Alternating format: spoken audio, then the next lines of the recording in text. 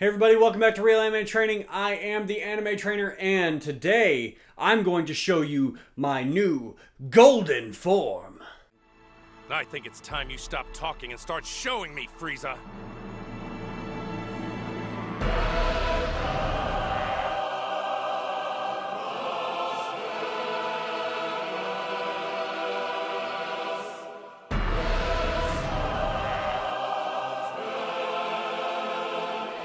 Just when you thought that Frieza had too many forms as it is, he decides that it's time to whip out a new one. So we've got Frieza with a brand new golden form thanks to Resurrection F.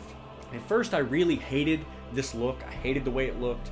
Um, I thought it was just complete garbage because it was just a ripoff of, of like, you know, it's oh, it's just Super Saiyan, but Frieza. And it, I, it just irritated the crap out of me. But as time has gone along, the way that it looks has kind of really grown on me. So I'm actually quite fine with the look now. But uh, at the beginning, I was like, ah. For this workout, I picked some exercises for some specific moments in the Golden Frieza fight. For the first is the moment that he transforms. Uh, for that moment, I have picked triple unders, which is a ridiculously, ridiculously difficult jump rope maneuver. Uh, for the second part, because of the brutality of the fight, I was just so rough. Um, I picked overhead walking lunges, which is a very difficult exercise if you are not used to having something overhead, uh, and also, you know, walking lunges with something overhead. It's pretty tough. Um, and finally, him pushing back against the Kamehameha, uh, we're going to do a clean and jerk. So how that breaks down is we're going to do 10 triple unders, or you can do 30 double unders if you can't do triple unders. I don't want you guys to just be stuck trying triple unders for the whole workout and not being able to do anything else. Or if you're just really, really bad at jump rope, you can do 90 single unders. That's fine. We're going to do an overhead walking lunge for five reps on each side with a pretty heavy weight. Uh, the workout has it listed as three quarters of your body weight, but that's a lot of weight to have over your head for this. So please use something that's relatively heavy that you're not going to drop on your head. Please be careful. Having something over your head like this and doing a single leg movement is very, very difficult. And we're going to finish out with a heavy, clean, and jerk. The workout listed on the blog has the weight for the clean and jerk being equal to your body weight. But once again, if you are new to the clean and jerk technique, please start very light, preferably with the bar, um, and add weight as you get better at the movement. If you are attempting high skill technical movements without the appropriate level of skill, with more weight than you can handle, I guarantee you're going to hurt yourself. So make sure that you scale it back, get the technique right before you add any weight. And we're going to do that for three minutes. That's right, only three minutes. Frieza's golden form, when he first got it, he didn't have the stamina to maintain it. So that's why the workout's only three minutes long, and it's to make sure that you are really pushing yourself, because you may not even finish the entire workout in three minutes if you're not good at the movements. So you're gonna really have to work hard. If you can manage to get a single round in, that's fantastic. If you can get two rounds in, that's amazing. If you can get three rounds in of Golden Frieza, you are ridiculous. Three minutes ain't a lot of time to work, but I guarantee it's gonna feel like it at the end of three minutes. All right, some technical points about each of these exercises. For the triple unders, um, I can only rarely pull off a triple under. I can't really jump quite high enough to get the rope all the way around, but sometimes I can do it.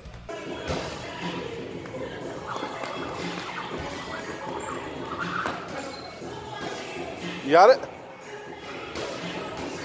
It stopped behind me, but I got But you- my feet. Uh, but for the triple unders, uh, you want to make sure that it's just like a double under. We've got our elbows tight to our side, hands are in front of the body. We really want to focus on that rotation. So we want to go instead of single under, instead of double under, it's going to be one, two, three, one, two, three, one, two, three, one, two, three. Um, it's going to be real fast, and it's just going to be from the wrist because if you try to move from the elbow, um, it's going to be too much motion to get you to complete it. Um, you want to focus on jumping as high as you can, uh, and we're bouncing from the calves primarily. We've got a little bit of a knee bend, um, but you need to be able to do it quickly. That means the majority of your bounce is going to come from your ankles and calves. Keep that chest high, don't bend over. Try not to raise your legs up super high. I know to get the triple under, you might have to cheat it a little bit. Just do the best that you can. For the barbell overhead walking lunge, you're to have your arms wider than shoulders. It'll be a little bit easier for your mobility. Um, then you're going to make sure that you have your core very tight. As you step forward, do not step forward quickly, nice controlled. As you step forward, you're to take your back knee down, control down, drive through the foot, drive through the midfoot and heel of the front foot, and come up to standing. I would recommend not going directly into the next step, but stopping in the middle before you take the next step on the other side. Like I said, use a lighter weight to begin with. This is a difficult movement if you are not used to doing things like this. The clean and jerk is super, super technical, is very, very technical.